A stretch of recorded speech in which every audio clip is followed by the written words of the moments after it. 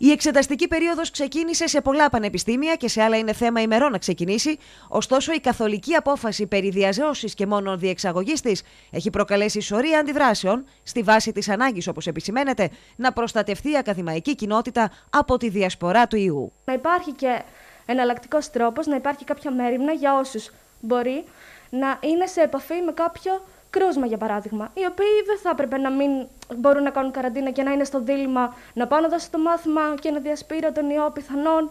ή να χάσω την εξεταστική μου. Την ώρα που οι φοιτητές γυρνούν και πάλι στα πανεπιστήμια, ένας μεγάλος αριθμός φοιτητών που ανήκουν σε ευπαθείς ομάδες ή προσέχουν για τους ευπαθείς γονείς τους ή που έχουν συμπτώματα αλλά ακόμη δεν έχουν επιβεβαιωμένη νόσηση, θα αναγκαστούν να κάνουν επιλογή ανάμεσα στο να διασπείρουν πιθανά τον ιό ή να χάσουν το μάθημα, εξήγησαν σε φοιτητέ τους, καθώς δεν προβλέπεται να μπορούν να συμμετέχουν στη δεύτερη εξεταστική που θα γίνει για τους νοσούντες και μόνο. Έχει ληφθεί μέρημνα για τους φοιτητές οι οποίοι θα νοσήσουν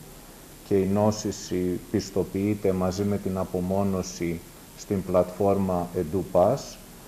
ότι θα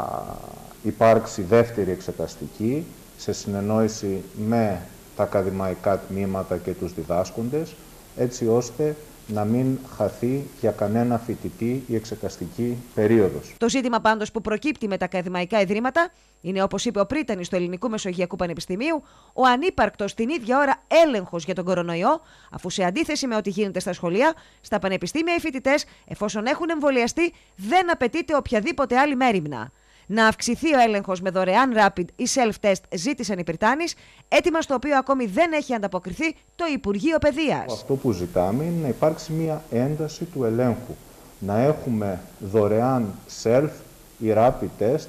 στα πανεπιστήμια ή να παρέχονται self-test δωρεάν στους φοιτητές, έτσι ώστε να μπορούν να προσέλθουν χωρίς προβλήματα